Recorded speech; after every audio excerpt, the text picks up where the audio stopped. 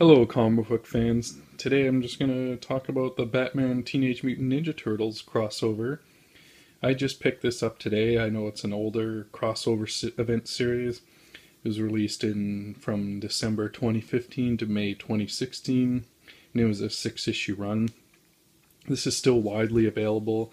I just picked this up today. Today, read through it, loved it.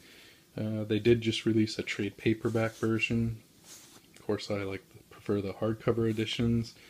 And this is, uh, again, you can see it's a nice quality book, no dust jacket on it, in good quality paper in it. And the reason I wanted to talk about this, despite it being an older run and there's a lot of other videos already, is just I was really excited about it. And this is just really one of those special kind of things that can only happen in comic books. These crossover events. I mean, they've been doing them for decades. I remember the old ones I've reading like RoboCop, Terminator, Aliens, Predator, of course, and things like uh, Predator, Batman. Of course, some of the Marvel DC crossovers like uh, Batman, Spider Man, and then they did a Marvel versus DC crossover. That was a lot of fun. And again, like these are this is just the kind of stuff that can only happen in comic books. You'd probably never, ever, ever see this in any form of film. And it's a lot of fun. And this uh, this series is just a complete blast.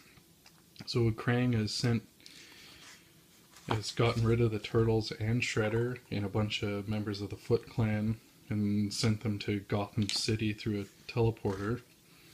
And they're all trying to get back home. So the Shredder and the Foot Clan are kidnapping scientists and stealing lab components to build another transporter to get back to New York City. And the turtles are trying to, of course, trying to stop him and get back home.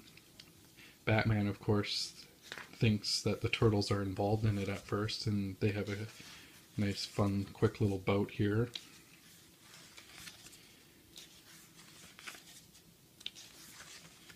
Really fun moments. And then, uh, of course, with the Shredder stealing components and building this dimension, it gets the word out in Gotham and it attracts the attention of Ra's al Ghul and the League of Shadows. Eventually, Sh- Shredder and Ra's al Ghul form an alliance with a plan of using the teleporter and the power of their two clans, the Foot Clan and the League of Shadows, to take over Gotham and New York City. And then, of course, the Batman and the Ninja Turtles team up to stop them. And I'll just give away one kind of minor, I guess, well, a spoiler, I guess. If you don't want to hear it, just stop in this video because this is really worth picking up. You should. Anyways, at the end, the Shredder gets a bunch of the mutagen from his dimension, and he uses it to transform a bunch of prisoners in Ar- Arkham Asylum into uh, animals, kind of like what they did with Bebop and Rocksteady. So you get a bunch of classic Gotham villains, or Batman villains, into like these giant mutant animals. It's so awesome it's such a perfect way to end this crossover. I mean, there you can see the penguin. He's actually is a penguin now. And there they all there. You got Bane as this elephant, Joker as like a cobra, uh, Harley Quinn. She's a like a panther or something. You got a polar bear for Mister Freeze. Poison Ivy is a praying mantis, and so on. It's just I couldn't think of a more perfect way to end a crossover between Batman and the Ninja Turtles. And of course, it ends with just an epic fight between the Shredder and Batman. And there's a lot of really fun moments and interactions. Most notably, I'll mention my favorite one was probably when you see Leonardo and Batman sparring for fun, teaching each other things they've learned, and Master Splinter is overwatching them and he's laying out uh, instructions. And you think he's talking to Leonardo, but then after Leonardo beats Batman, or takes him down, it's you, you realize that Splinter was actually schooling Batman. So that was a really cool, fun little twist that he was actually teaching Batman something. Kind of shows Splinter's wisdom. And then yeah, now that the and that's basically it. And at the end, you got a bunch of covers. And there's a lot of variant covers. So there's the main cover of issue one, and this is one of the variants, which is really cool. I love these, and there's one for every issue.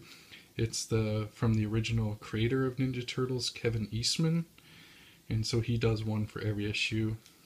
I just love that. And then I love these black and white ones with where the bandana is, and then the bat symbol has some light blue on it there, dark blue. So that's there's one of those for like every issue too.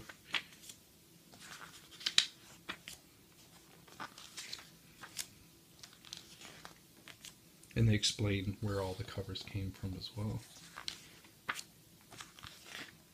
Which is always nice and fun.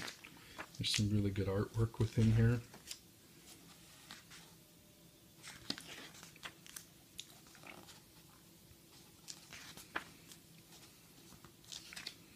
Lots of different styles.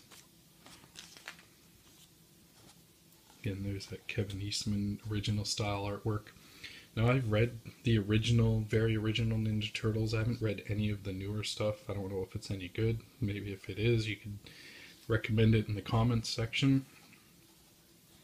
But my first exposure to Ninja Turtles was, of course, the 80s cartoon. And I remember going as a kid to a comic book store and seeing Teenage Mutant Ninja Turtle comics and getting all excited and then looking at them and going, well, this isn't Ninja Turtles, this is weird. Like, I remember well, why are the comics all in black and white? That's just kind of dumb. Thinking that as a kid, and then I was like, why are all their like you see the covers like why are all, all their bandanas red? Donatello's not supposed to have a red bandana; it's supposed to be purple, and so on. Course, now uh, as I've gotten older, I just absolutely love those original comic books. They're a lot more serious and violent than the what the Ninja Turtles are nowadays.